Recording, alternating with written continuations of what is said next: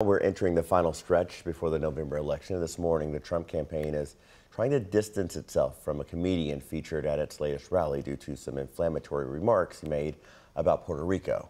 I don't know if you guys know this, but there's literally a floating island of garbage in the middle of the ocean right now. Yeah. I think it's called Puerto Rico. So that is Tony Hinchcliffe. He's a host of a comedy podcast and took to the stage during a pre-show for the former president's Madison Square Garden rally on Sunday.